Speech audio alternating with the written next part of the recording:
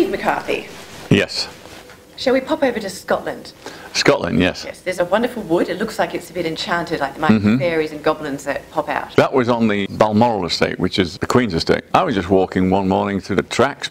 The sun was coming up. It just didn't have it in colour. So I converted that one to black and white. Normally, if I shoot black and white, it'd be film. Yeah. I converted that to black and white. Thought, yeah, put a bit of sepia in there and it gave a, a mythical quality. Totally mythical. Yeah. Do you still work in film somewhere? Yes, I do, yeah. And what camera?